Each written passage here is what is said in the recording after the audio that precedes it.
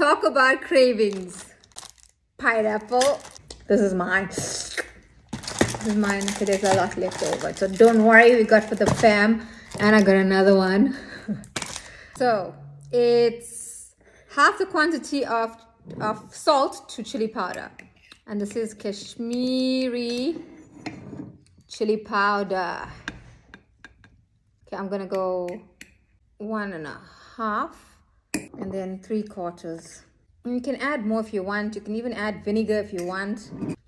Mix, mix, mix. And even if you can't coat it properly, you can still dunk because when you take a bite, mmm, oh my god, you can still dunk some more. So sweet and juicy.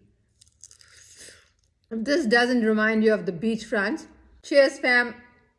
Go get some pineapples.